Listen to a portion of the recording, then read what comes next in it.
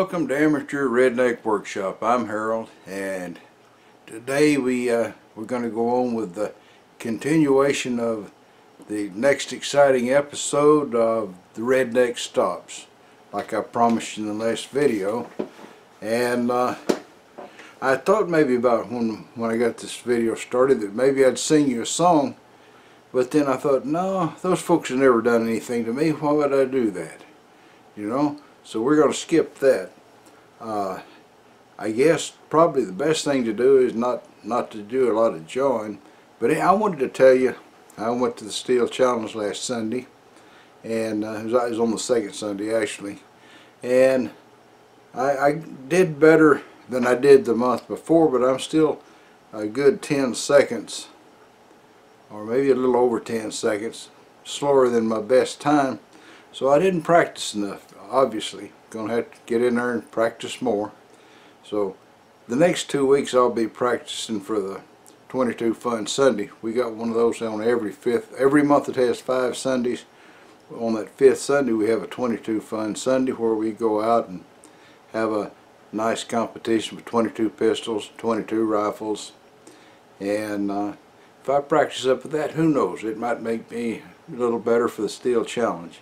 Nevertheless that's what I'm going to be doing and uh, now that we've told you all that stuff I guess we'll just move right straight on into uh, into working on that uh, mill vise stuff. It uh, seemed like a good thing to do. Well here we are another day. It got kind of chilly last night. They said it got down in the 40s I didn't check my own little weather station to see if it really did but I'll take their word for it it, it seems chilly out here and it's about 70 still got a cold wind. I think I've gone down 40 thousandths I think I'll go down 60 and that'll be plenty wide enough that I can roll it over and do the other side. And I'm gonna let you guys sleep through that because there's not much entertaining about watching an end mill zoom back and forth.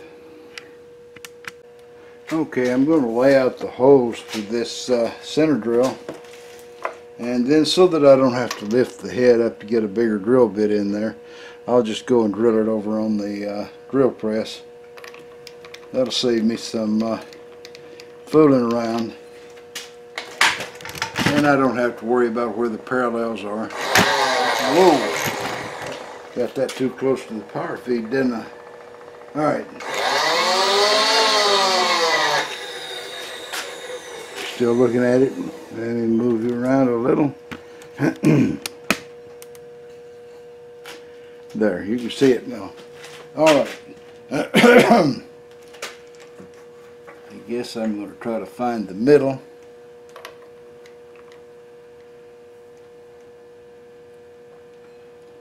Well tell you what I'm going to locate the middle by pushing this guy down on the side down here. And well that's a nasty thing. And then I'll bring you guys awake. Well as near as I can tell that's dead center. So we'll put one hole here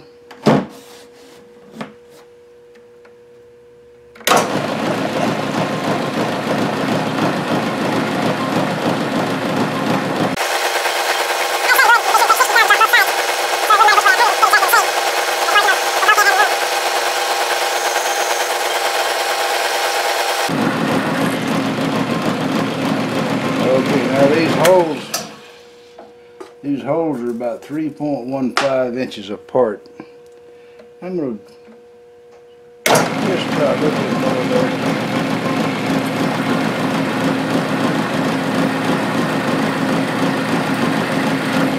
I know it doesn't have to be V'd out, but what the heck. Alright, 3.15 inches. Double check it again.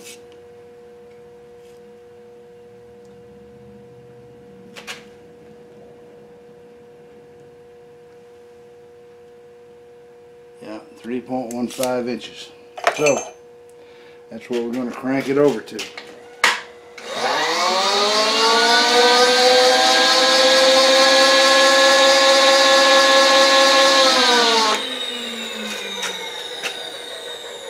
That's really close. That's it right there.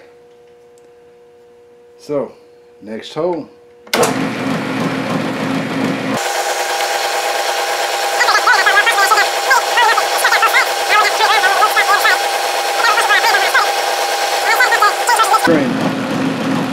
Which I do a lot of. Alright, now all I got to do is take it over to the drill press and drill the holes. They've got to be this size. This is I think 8 millimeter. So I don't have metric drills, but I've got drills that are pretty darn close. So there's no precision required here anyway, so that's what we'll do. We'll just find a drill that's close and drill a couple of holes. Alright, so I stuck a piece of sacrificial metal underneath here and then I also set the drill stop so it won't go really through. And uh, you get sacrificial metal at the uh, sacrificial metal store. Special stuff. It's all been blessed by Tom Lipton.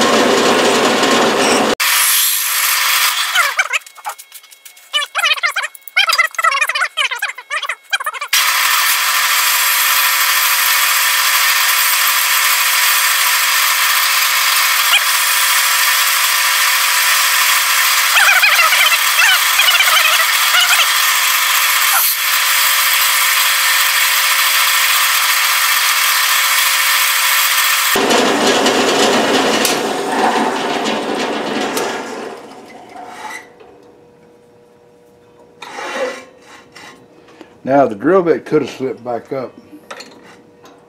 And it did. It slipped back up in the chuck.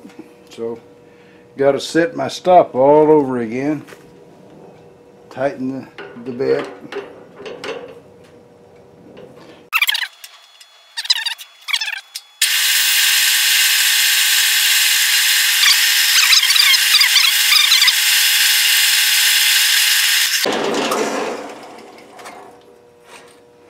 Pull out the sacrificial metal, which is just as good as new, and finish the hole, which itself is just as good as new.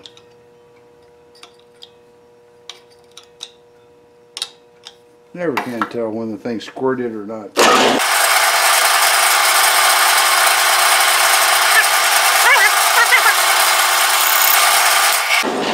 Not good. That wants to push it down. Not good. Okay. I'll clean the chips up, put my sacrificial metal back in there and finish the hole even if I have to sacrifice the metal. For about 40 years I used this drill press without drilling a single hole in it. No apprentice marks whatsoever. And then one day I let a kid helped me with some stuff I was doing for him. And I wound up with four or five holes drilled in this sucker, all in one day. I guess you should You just shouldn't let somebody use it.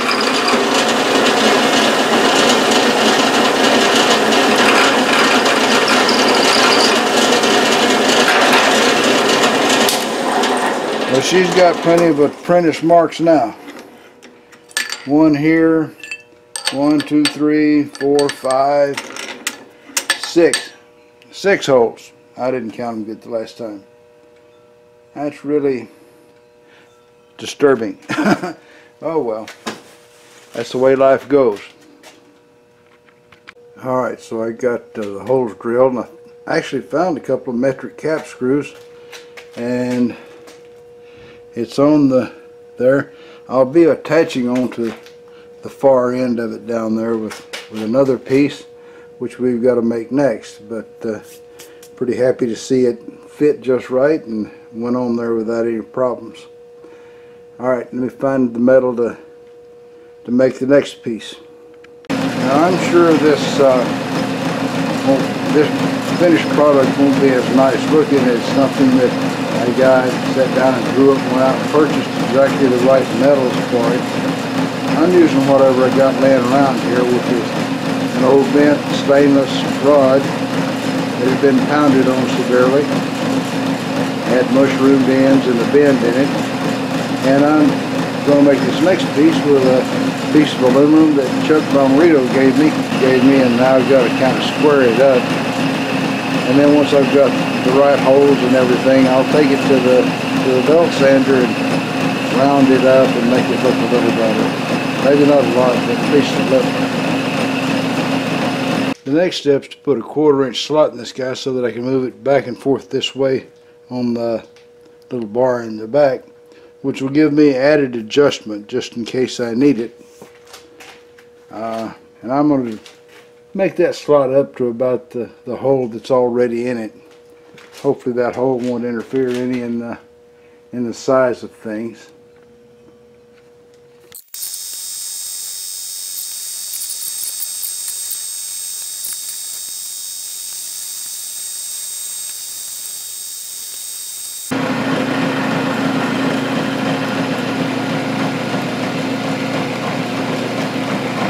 Alright, there it is.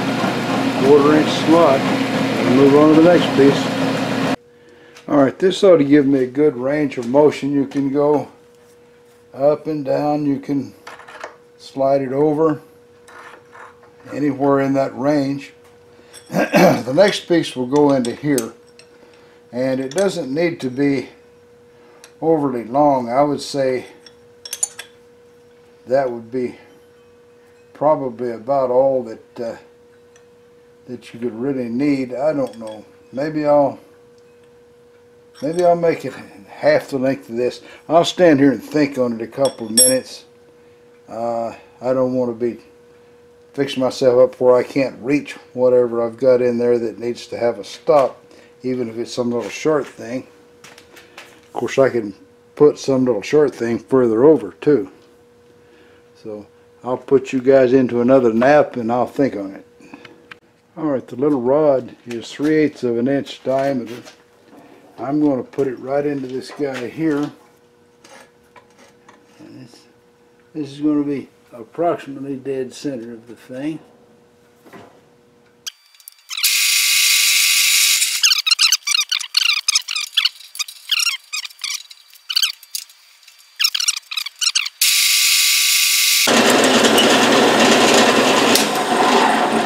I really should have had it clamped down so that it wouldn't helicopter on me if it got stuck.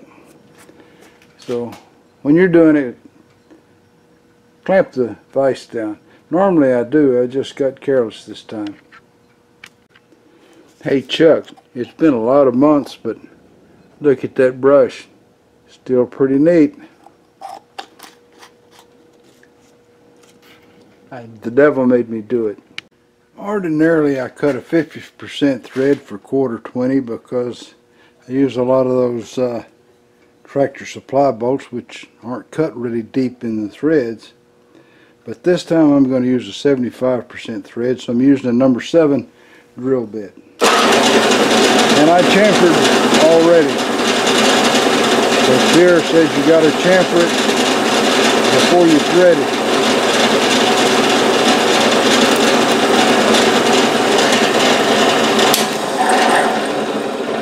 That ate the chamfer up. Okay, well, I'll get a, a tap and thread this thing, but I'll chamfer it before I thread it. Did you get that, Pierre? And I used a brand new quarter 20 tap that I started with the, the drill press. I turned it by hand, the drill press by hand. So, no, I wasn't power tapping it with the drill press. But that should make a very nice thread all the threads I need just so long as my bolt goes through there. Chamfered before I threaded. I have to repeat that because Pierre's probably over there eating those ghost peppers and flirting with the ladies instead of paying attention. Alright so here's the finished product. It's adjustable way back up inside the vise or it can come way back out here quite a ways, something hanging over the end. One of my viewers said I something I was going to use some set screws for the other day. Said I should use the little brass knobs I made. And I got to thinking, I did remember making some brass knobs with knurls on them. I spent 10 or 15 minutes looking to see if I could find them. And of course I couldn't, so I don't know if I really made them or not, if this guy just caused me to have a false memory. But anyway, here's my stop. I think it'll do the job for me. You can move it back, move it out. Should be every bit as adjustable as I need for whatever I need to adjust it for. And there you are. I think this is this job come out better than most. And so I'm going to declare it a, a winner and finished. Probably won't need a lot of changes in the future either. So there you go. I think after we've done all this hard work, we need a, above a Bubba joke or something. So we'll see what comes up. Now this is uh, uh, Australian redneck etiquette. And some of the words will probably be more easily understood by Rob, Nance, and Emma. But uh, anyhow, here's the rules, you know, of etiquette for an Australian redneck. Never take an open stubby to a job interview. Number two, always identify people in your paddocks before shooting at them. Number three, it's tacky to take an esky to church. Number four, if you have to vacuum the bed, it's time to change the sheets. Number five, even if you're certain you're included in the will, it's rude to take your ute and trailer to the funeral. And here's some rules for dining out. You know, it's when decanting wine from the box, tilt the paper cup and pour slowly so as not to bruise the wine.